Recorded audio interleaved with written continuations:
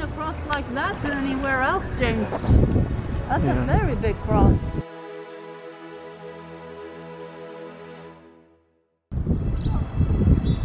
A 3D cross.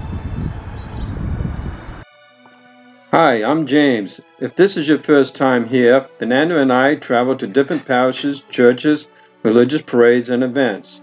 Subscribe to see our next video and leave a comment and hit the like button below if you got value out of this video.